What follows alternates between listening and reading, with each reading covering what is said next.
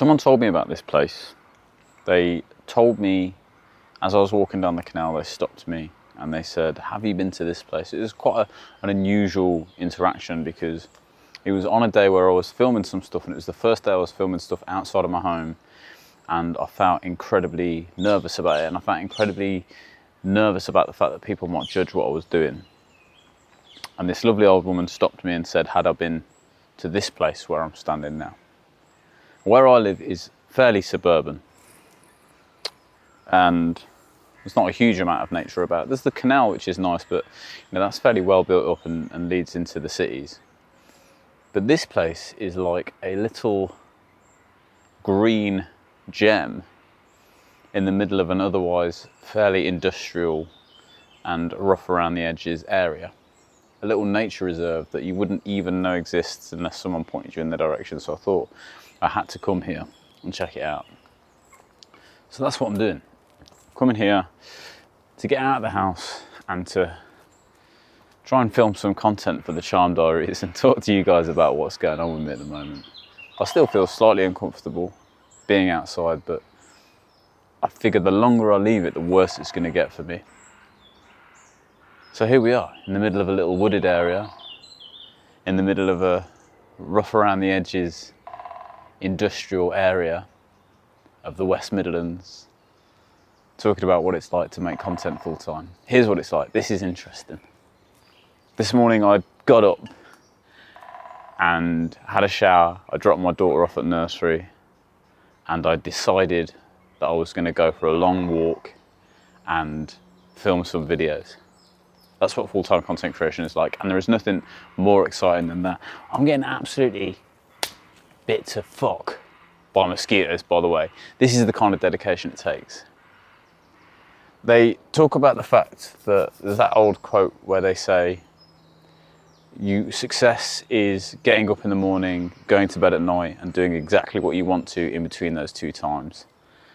And I think that's absolutely right because I've had money, I've had uh, big job titles, I've had teams of people. I've not been at the highest level of business, but I've been at a decent level. I earned a good amount of money and I had uh, a decent amount of responsibility in a company that had grown from, you know, 10, 20 people up to 100 at its height. And I didn't find happiness in any of that. And I've just realised right at this moment that me being able to get up this morning and say, I'm going to film some content today a little forest area that I heard about from an old woman on a canal, that is fucking happiness. That is what I'm looking for. I'm so just overwhelmingly happy with the fact that I've just figured that out. Anyway, let's walk a bit further around and see what we can find. You realise, by the way, I've got to come all the way back down here to get the camera, and I'm only doing this to get this shot. So just remember that when you're watching this. Every time I start one of these, I'm never 100% sure what I'm going to talk about. There's always a fear with these vlogs that I'm going to run out of things. But just the, the act of actually getting up and committing to creating these, you discover things to talk about. I was talking to my dad the other day, a very successful person he said he had a friend who decided he was going to write an article every day for a month. He said when he was just doing one article a week or one article a month, it was really difficult. But when he did one a day, he just found something every single day that he had to commit to doing that, and it seems like a lot. And I've done the same thing. I've said, certainly with like short form content, I've said I'm going to produce two to three videos a day. I'll come from a background where you know, producing one video in an advertising agency might take weeks or months. So to go, if I told them that, that I'm going to produce three videos a day, I think I was absolutely insane. Most agencies, marketing people, I don't know what they're doing. and I mean that in the nicest possible way. And I've been there. I've been one of the people that I don't know what I'm doing. So when it comes to this short form content stuff, and this is part of my thought process of like what the future might look like for me. Because I love creating content. Uh, I love the gaming space. Um, but I've always said that I'm like have like a really eclectic group of things that I enjoy doing. Like I used to describe myself as a renaissance man because there wasn't one thing I wanted to commit to you forever. And the gaming stuff and the, the content stuff is of it's the longest I've committed to something in a consistent way. Apart from jobs where they pay me to be there. I've been really happy with that. Uh,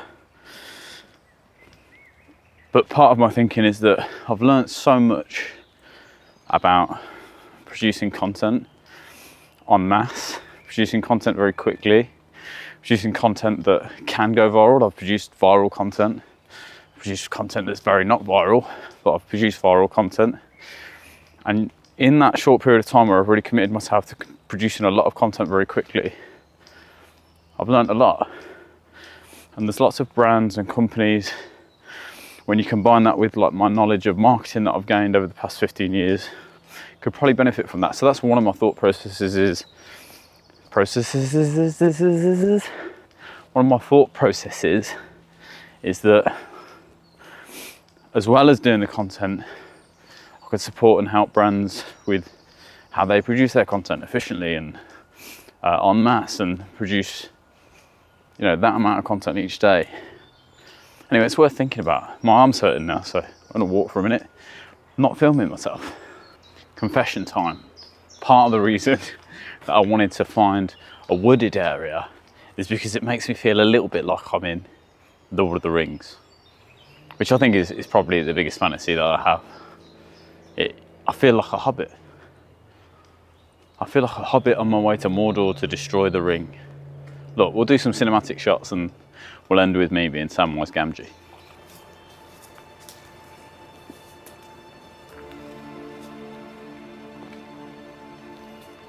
I feel like this looks pretty cinematic, don't you? Can't really see, but we'll do it.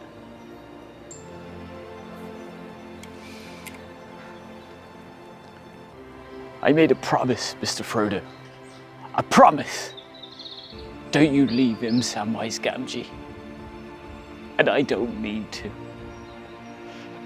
I don't mean to.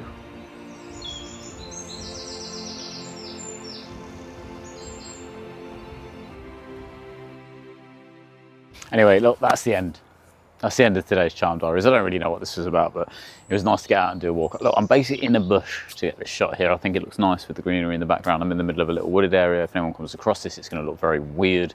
But I'm here and I'm doing it and I think that's the main thing. This is what I'm discovering is I've just got to do the work. I've just got to be out here. I've got to be filming. I've got to be writing. I've got to be uh, taking pictures. I've got to be producing content. I've got to be transparent. I've got to be open. There are moments where I'm in utter panic and utter dread about what the future looks like for me. And there are moments like this where I'm absolutely elated with the freedom and the creativity that I have the privilege to deal with at the moment and I'm just trying to find balance between the two. So I appreciate you guys. I'll see you on the next one.